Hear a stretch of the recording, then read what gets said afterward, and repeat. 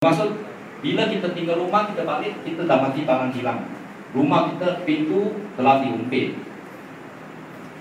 Terpaksa kita hendak menjalan sesatan berdasarkan sama ada sebarang cap jari akan ditinggalkan penjenayah atau tidak.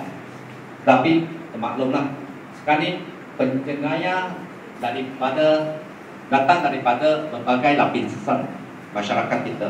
Ada yang pendidikan lebih tinggi daripada kita. Mungkin dia akan pakai sarung tangan tidak enggak